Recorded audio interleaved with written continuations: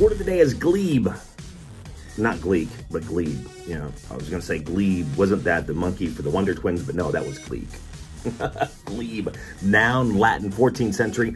Land, fields, a piece of land serving as part of a clergyman's benefice and providing income. Glebe.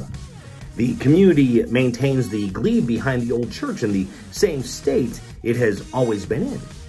This neighborhood is called Glebe, but it's been over a century since the town was built on the original glebe. Glebe. Of the day. Like, subscribe, share.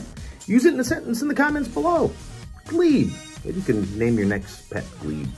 Or Gleek. Either. Glebe.